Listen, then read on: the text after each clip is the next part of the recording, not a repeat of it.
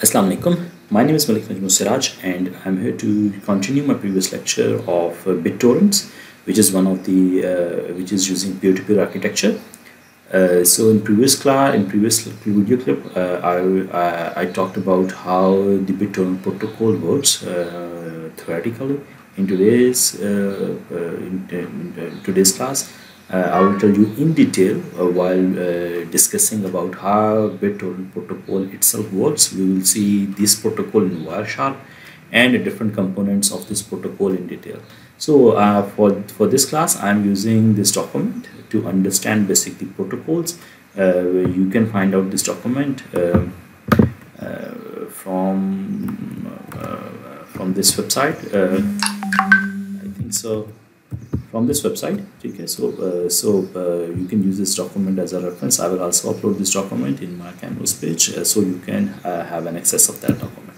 So this is understanding of the BitTorrent protocol. We will look into the different parts of BitTorrent protocol so uh, this is some a little bit history of a BitTorrent protocol uh, so these are the two types of network architectures that are used nowadays one is a centralized server which is using a centralized method of communication. There are clients which is downloading uh, file, downloading things from the server. Uh, or uh, connecting the connecting to the server to get the services. There's another architecture which is called a distributed structure, and uh, that distributed structure in which these are the peers that can directly connect with each other to share something. Uh, so this is one of the architecture we call as peer-to-peer -peer architecture. So we talked about previously we talked about peer-to-peer -peer architecture so we will go in detail about the protocols, uh, which is uh, one of the peer-to-peer -peer protocol is a BitTorrent. We will look in detail about the BitTorrent protocol, how it works, um, and how it forms, uh, uh, how different peer, how in this protocol different peers directly connect with each other and share some something among them. So before going in detail, let's try to understand different terminologies that are used. I will not cover all the terminologies, just I will give you few, few terminologies. You can read other terminologies. One is called a block. We already talked about a block uh, size, uh, which is a chunk size uh, while discussing our lecture. Block is a piece of file. When a file is distributed via torrent, it is broken down to a smaller piece. Of a block. Typically, that block is uh, this much size but it can vary. While you are creating a torrent you can increase or decrease the size of a block. Uh, so client are the BitTorrent software used to download or upload a file. These are the clients. Uh, other concept is leech or leechers uh, usually refer to a peer that is downloading while uploading a very little once you are downloading a file you but you are not participating in uploading a file you are termed as a leecher because you are not uh, providing your services to among other peers uh, to download that file the uh, species of that file that you already have. Uh, so you are not providing uh, you, you, are deviating the concept of uh, distributed file sharing so you are acting as a leecher and peers are one of group of clients downloading the same file reseed you can you can read that terminology so uh, one uh, of the important terminology here is a tracker. A tracker is a server that keep uh, that keeps track of the peers and seed in the swarm. Okay, swarm is a group of swarm is a group of seeds and a peer sharing the same torrent. Once you are downloading a same file, uh, I will later on tell you. Uh, so all those peers that are downloading the same file are we we are called a swarm. So tracker is actually a server that keeps track of the peers and seeds in the swarm which are the peers that are seeding in that swarm. So tracker actually uh, note down all those uh, peers that are in that uh, swarm. So a tracker does not have a copy of file itself but it helps to manage the transfer. So it is the main thing which is actually helping other uh, devices to get the list of the peers that has that file or chunk of that file present. So it is the job of tra uh, tracker. So protocol specification. So let's go in detail about the protocol specification. But before going into the protocol uh, generally we experience this thing that once we are downloading a file uh, so we need to have a torrent uh, with ourselves what is torrent um,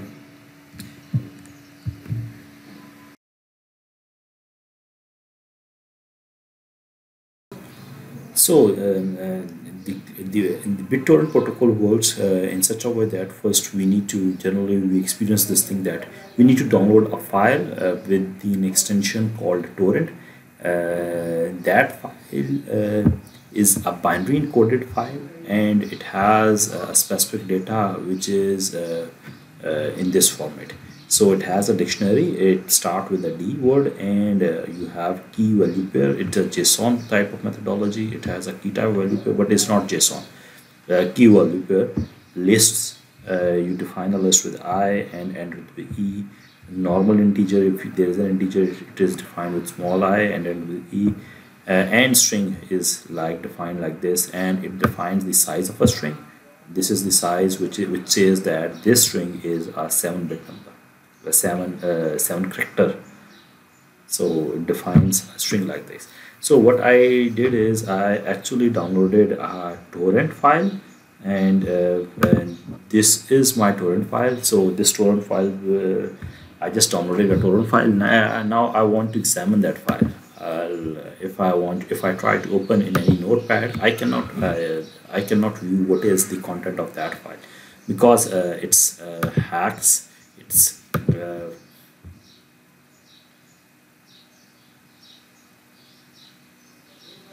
so what we can do is I can open that torrent file uh, which is called torrent editor uh, one such as a torrent editor so uh, I this you can go on this URL and uh, you can open this file. So if I want to open a file I go to the downloads and then click on this file. So edit it.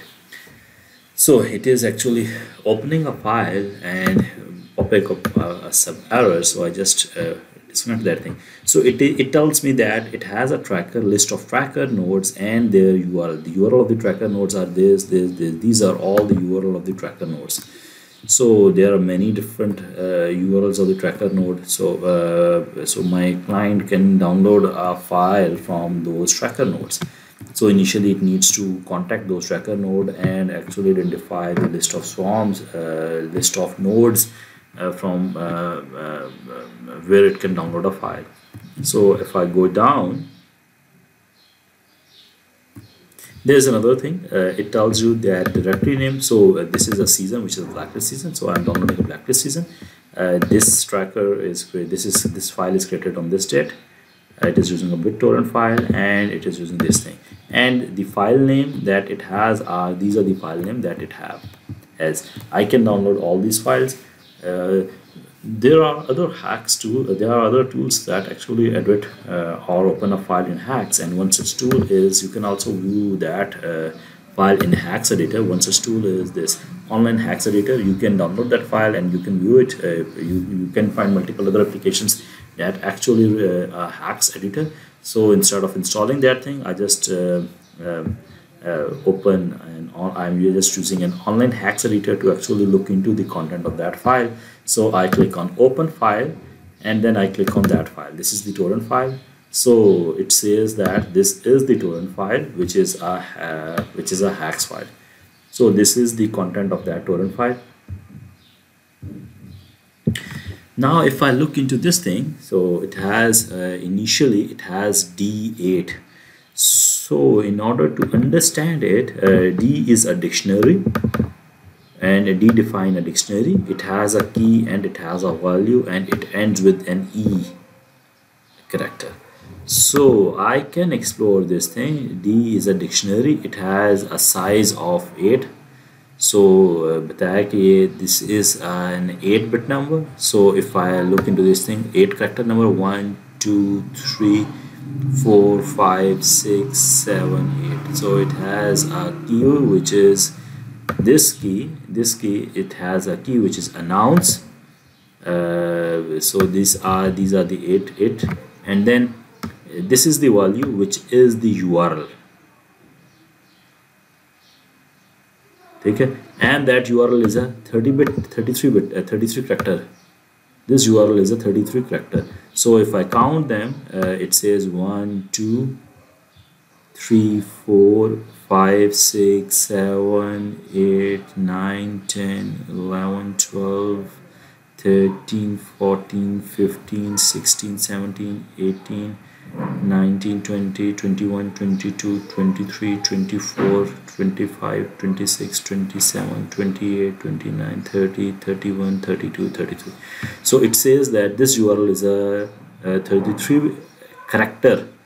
So it is announcing a url which is http uh, explodie.org uh, colon 69696969 is the port number slash announce uh, this URL, we already identified this URL while looking into this tracker, uh, exploring this track, uh, this BitTorrent file. So this is this URL. So next, uh, it says that other is a 13-bit number, other is a 3-bit number, 13-bit number. So 13-bit number announce a and then other is a 33-bit. So it has a URL like this. So we know one thing that uh, this key value pair ends at the uh, character which is E. Now let's look at the E. So uh, if I look at the E, let's say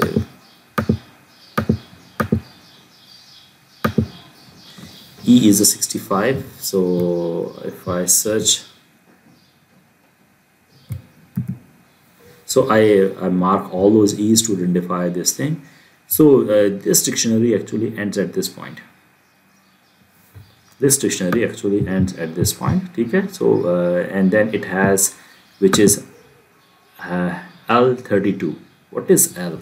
If I look into this thing, then it defines a list which has uh, एक list define कर रहा होगा ये 32 bit की list है and that is again uh, uh, this is a list जहाँ पे ये आ रही है tracker की that is has a complete information of this file so you can find out all those uh, tractor.t file.me you can find all those things over there. So you can actually once you look into this thing you can find out all the urls that are present here on that file. So it, it actually identify uh, this thing by the same methodology that I find out over there so if we look into this thing so uh, it has uh,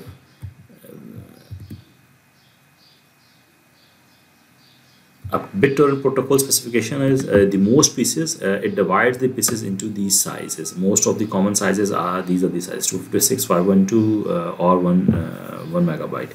Generally there are, these are divided among two power sum numbers. So these are the two power sum number.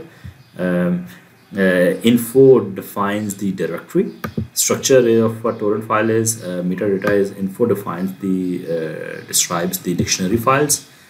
Uh, announce describe the url of the tracker. So uh, all those announce that we see over there actually are the urls of the tracker. So my uh, client needs to connect those urls to get that list of a file. So then let's see uh,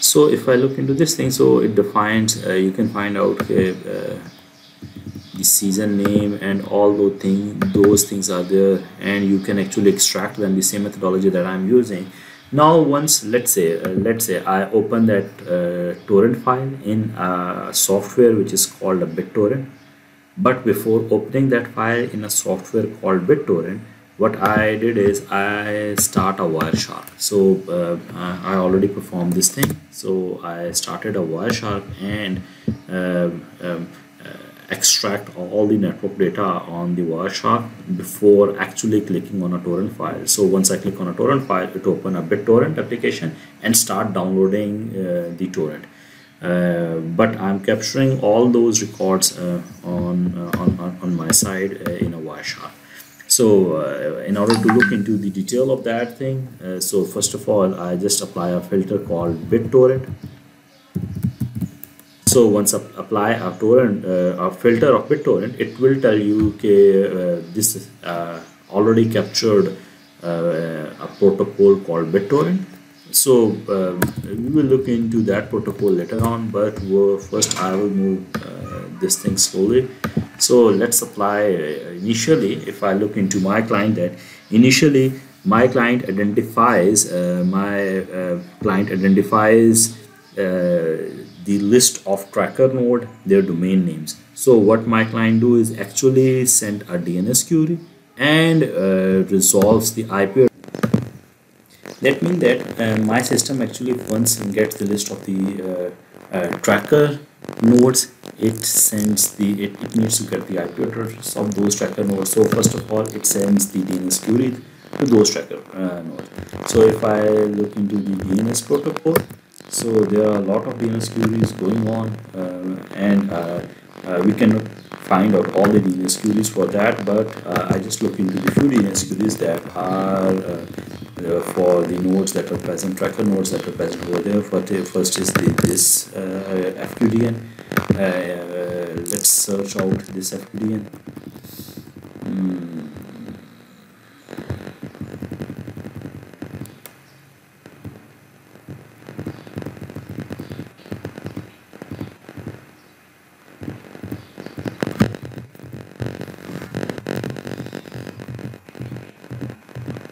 There are many let's see.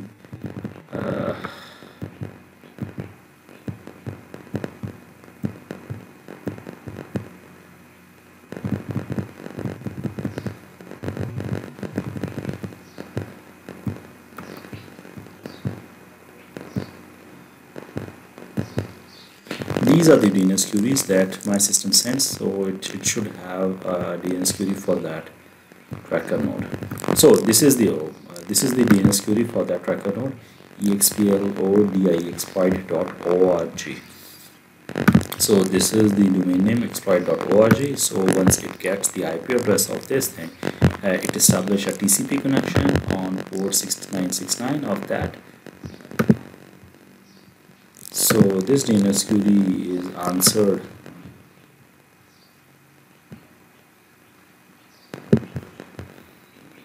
this is the answer of that DNS query so this is the answer of that DNS query uh, and in that answer it tells you about uh, the IP the IP address of that or authoritative name, name server. So in this case it tells you about the authoritative name server of that uh, domain name.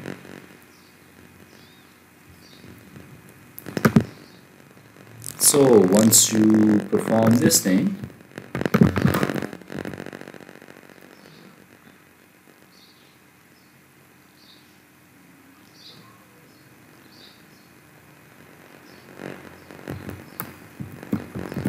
so you will find out uh, you, uh, all those information uh, by decoding this thing.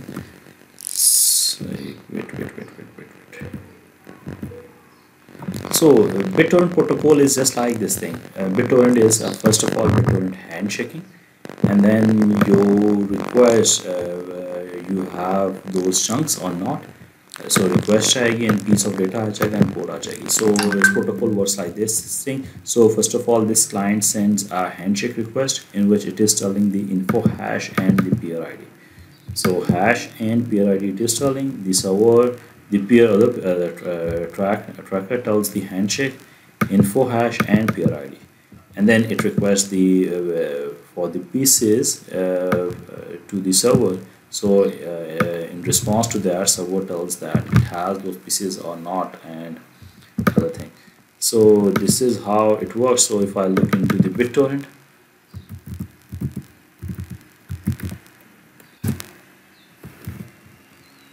so this is a BitTorrent in which uh, this is a handshake request. This is the IP address of mine and this is the IP address of that uh, tracker torrent or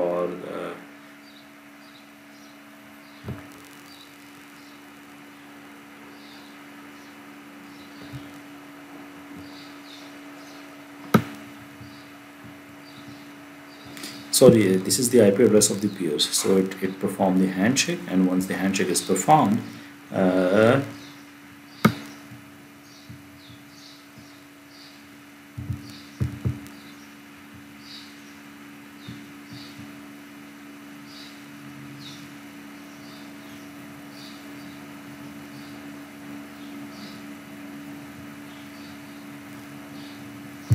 so first of all uh, handshake tells you about the dictionary uh, SHA and uh, peer ID SHA is the hash of that uh, so uh, this is a first handshake message that is sent from the client. This is the client IP address and uh, this is the destination IP address uh, which is the peer's IP address. So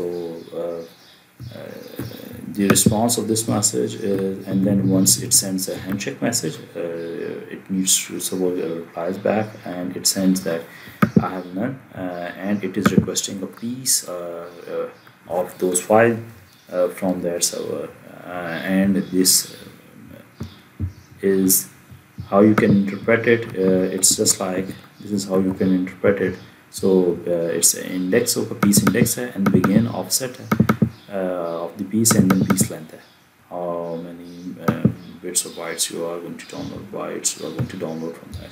So this is how it sends the request to that server that peer and that peer actually reply back. This is the reply of that peer. It sends a handshake message and says i have all the uh, chunks and uh, it, it, then uh, uh, then unchoke it and then clients start downloading those files uh, from that server so you can go in detail more um, but right now uh, that's enough for us to actually understand this uh, this little bit detail of the BitTorrent protocol. Uh, if we further go in detail it will increase the complexity uh, of this protocol and uh, increase the toughness level of this course